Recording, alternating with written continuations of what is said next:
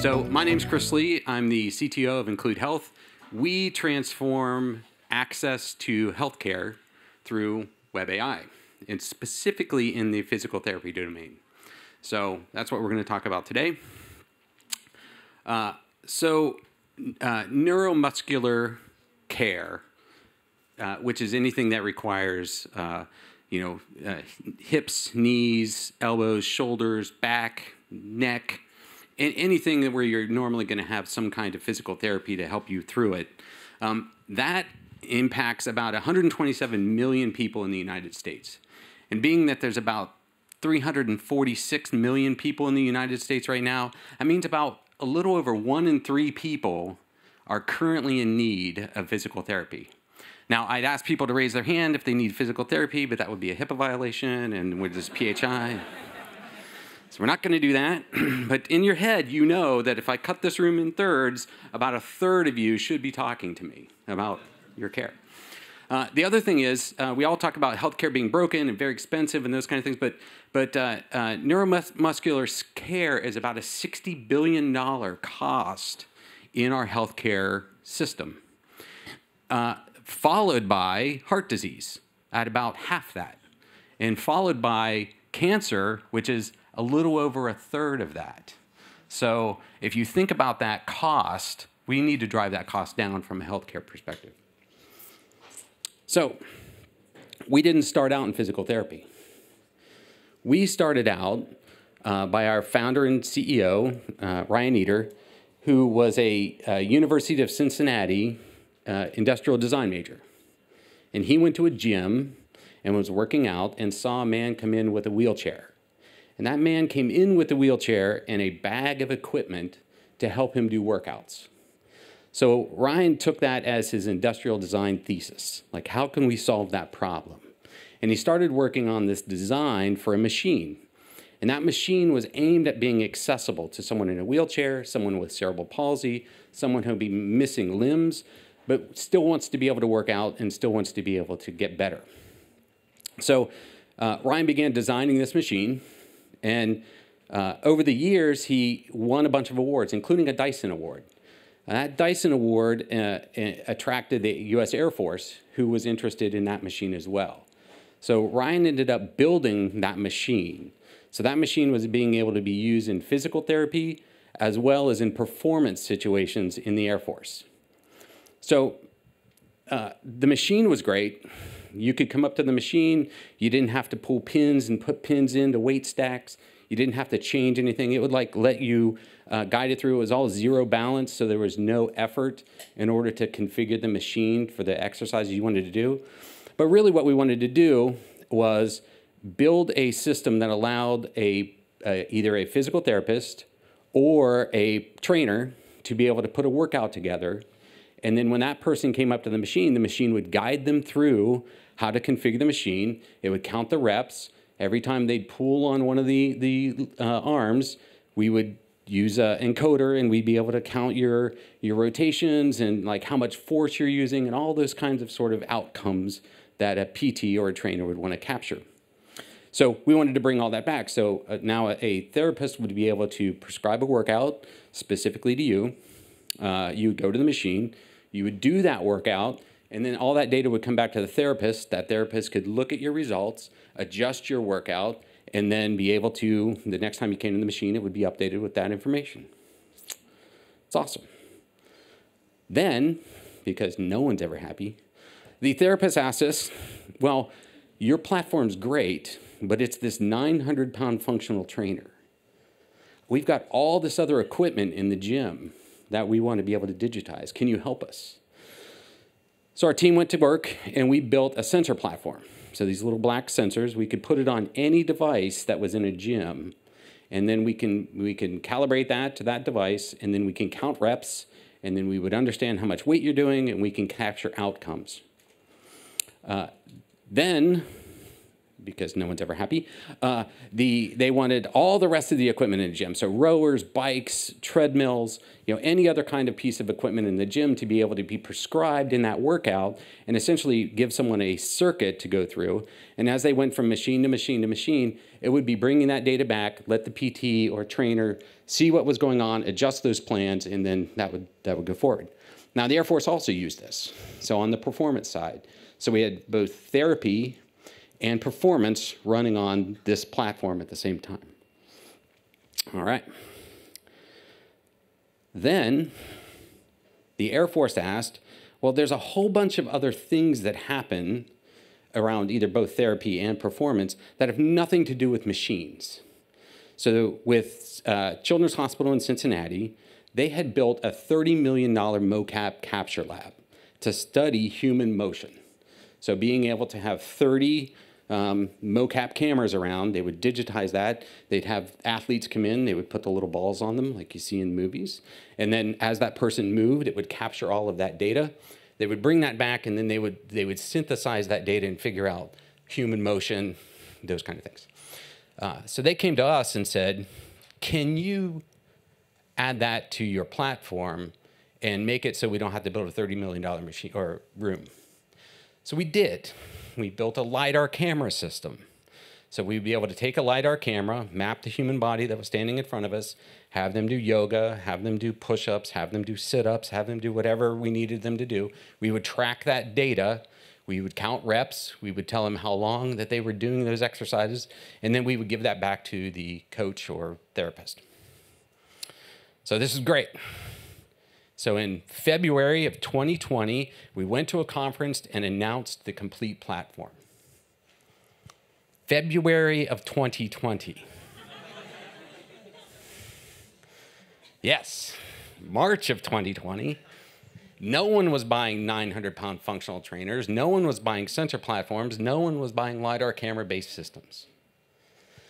Fortunately, we had started on the movement tracking system but no one wanted to buy cameras with LiDAR. So, what can we do? So, as everyone did during the pandemic, I locked myself in a room. And what's great here is, is uh, so I started using P5, JS, ML5, and TensorFlow, and watching a ton of coding train videos. How many of you have seen Coding Train? If you have not seen Coding Train, just go to YouTube and Google and search for Coding Train. You, will love it. So, but I had to. it's been a while uh, since I had done, you know, trigonometry. So I had to like relearn some things about math, and because uh, our lidar systems were all quaternion based, so we had to learn a whole bunch of new things. But we built a ton of proof of concepts. Like, could we even do this? Could we take a two-dimensional PoseNet system and start mapping that and do the same kinds of outcome mapping that we did with these, these massive devices and sensors and LiDAR cameras. While we were doing that, uh, we realized uh, Apple was releasing, Apple was releasing uh, iOS 14 at the time. So we were building proof of concepts that spring Apple announced body pose estimation in iOS 14. We know Apple normally releases in September, so we had the summer to build a system that was using sort of that better model than PoseNet. Uh, meanwhile, the Air Force wanted this system, and they wanted to be able to continue on with their performance training. So uh, Apple released, I believe it was September 14th, October 1st, we went into production with the Air Force. So we were ready to go with a Swift application on a tablet over that time period. So all of that equipment and sensors that we had built over that period of time uh, are now in a storage unit. If anyone needs anything, let me know. Awesome. Uh, so, but that wasn't the solution we wanted because our goal is personalized measured care anywhere, anytime, and on any device. Well, being on iOS 14 with body pose estimation didn't allow us to do that. So there's this guy on the internet, uh, besides Coding Train, uh, that uh, named Jason, who publishes a lot of stuff.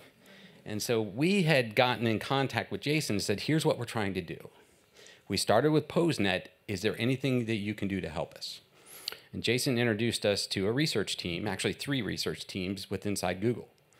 And one of those research teams was doing almost what we were doing or trying to do, but they had no downstream consumer for that product. So a lot of, I look at a lot of what I've, I've watched today, and you know, there's there's frameworks and technologies and languages being built. It's like, but it's the downstream consumer, organizations like ours, that really benefit from the work that you're doing. So uh, we worked with uh, that research team for about eight months. They would ship us a model. We would try it in our system. We would give them, here's the exercises or activities that work. Here's the ones that didn't. Here's why they didn't, like ankle tracking and sort of body occlusion and some of those kind of things. There was a lot of stuff that we went back and forth on.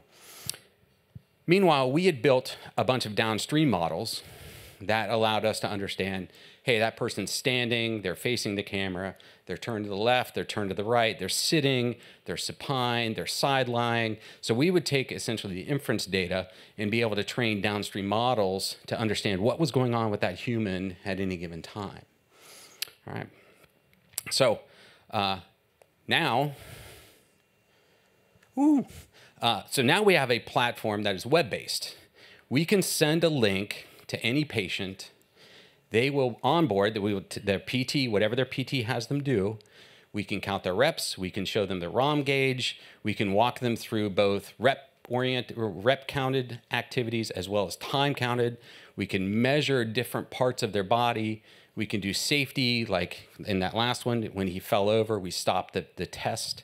So we can do both assessments and we can do ac actions. So we have about 500 motion track exercises on the system right now, and about 6,500 other activities on the system that our PTs can use in order to prescribe care to patients who are recovering from any of those uh, uh, issues that they have. So that's what we have right now. That's what we are. So we treat patients, our PTs treat patients using that platform. So you would have a con, uh, connection with one of our PTs. They would assess you. They would then send out a plan. You would do that plan, and and that's the system we have. Meanwhile, the Air Force wasn't done.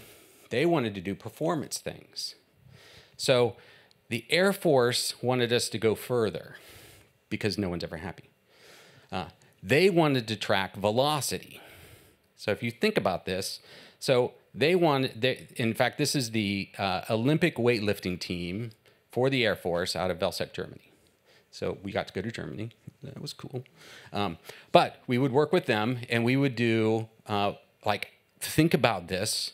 We have to do velocity tracking with a pose estimation model in near real time. This is all this is all on device. We are not shipping anything off device. This is all on the web. All right. So uh, we did. So when you normally measure velocity, you're normally measuring, there's two physical devices you could use. One is an encoder, a tether that you actually can tether to a bar. And when that tether moves, we would capture data. The other one is a LiDAR-based system. So we would shoot a laser to the ground and measure the laser movement. And then ours, which is a bunch of machine learning model running on a web browser. That's crazy, right? All right, so this is actually um, a live demo well, it's recorded, but you understand. Um, it's a live demo of all three of those against each other with the exact same exercise. So we had to prove that it worked, and we did. So the graphs on the screen are the optical sensor against the tether against our implementation of just body pose estimation and a bunch of downstream models. As you can see, our inference is uh, uh, about 30 frames a second, so we're getting about 30 samples a second, but we can still give you all the velocity tracking and power tracking that the Air Force wanted to get out of this particular thing. So that team was happy, and that's what they're using. The reason why that team needed something, by the way, uh, was because even though they're, they're in Germany and they're the Olympic weightlifting team, those are still airmen that get deployed.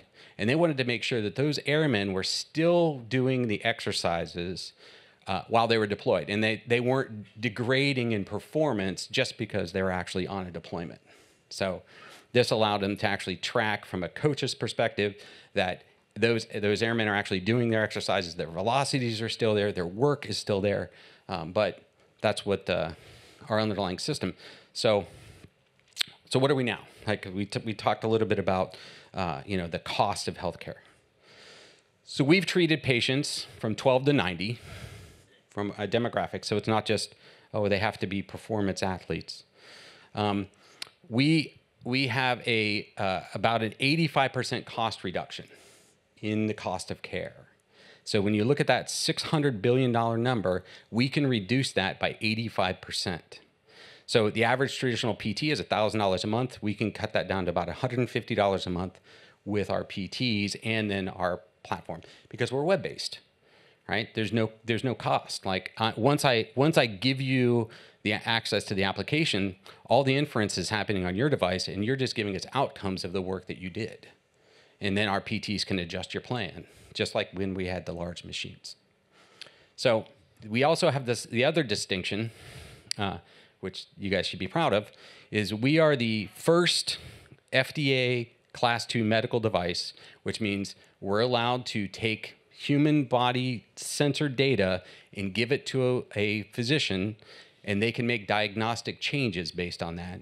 So we're the first web AI based system that was able to become a class two medical device. So, thank you. But that wasn't us, that was you guys.